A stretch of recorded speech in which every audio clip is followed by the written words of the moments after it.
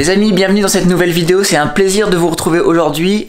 Au menu du jour, mes crackers aux graines et aux olives. Vous allez voir c'est une recette hyper simple qui nécessite peu d'ingrédients et qui pourra remplacer le pain. On va voir ça tout de suite, c'est parti. On a besoin de 3 verres de graines. Donc là, je vais utiliser des graines de tournesol et des graines de sésame noir parce que j'avais pas de graines de courge et de graines de lin comme j'ai indiqué sur la recette de mon site internet. Mais vous pouvez remplacer par les graines que vous avez en stock. Donc voilà, comme je vous disais, graines de tournesol graines de sésame. On va aromatiser ces crackers avec quelques rondelles d'olive. Ça, c'est pour euh, pimper un peu la recette que j'ai mis sur mon site internet. Mais si vous n'aimez pas les olives, vous n'êtes pas obligé de les mettre.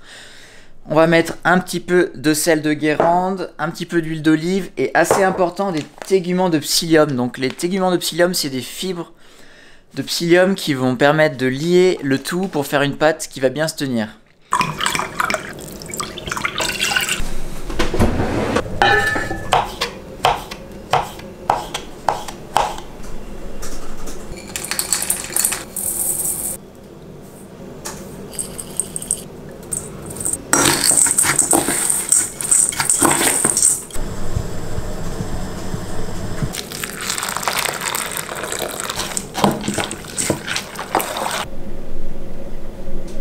Donc là, comme vous venez de voir, on vient de mettre l'eau bouillante dans les graines et on va attendre 5 minutes pour que les graines absorbent l'eau. Ça va nous faire une pâte un petit peu gluante, on va dire, qu'on va étaler sur une plaque de cuisson qu'on va mettre au four.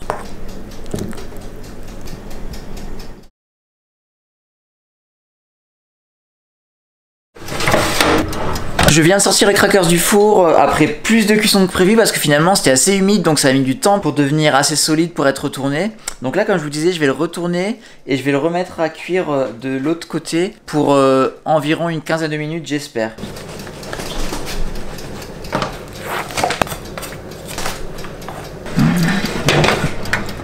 Donc je viens de sortir les crackers du four et vous voyez qu'ils sont vraiment magnifiques. Ce que je vais faire maintenant c'est que je vais attendre 5-10 euh, minutes qu'ils refroidissent avant de les couper. Donc je vais couper des petits rectangles et on mettra ça sur le plateau apéro de demain.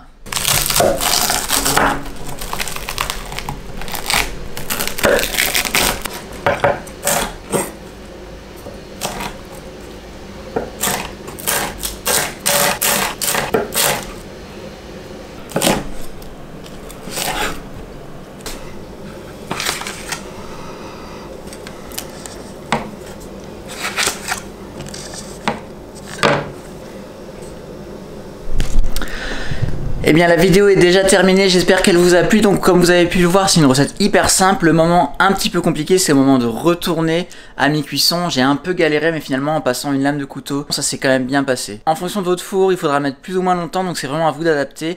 Le tout, c'est que ce soit bien croustillant à la fin pour pouvoir découper facilement sans que ça se casse et de manière à ce que ça se tienne bien. Donc écoutez, je vous dis à la prochaine pour une nouvelle vidéo. J'ai pris beaucoup de plaisir à tourner celle-ci et j'espère que la prochaine sera aussi bien. Allez, à plus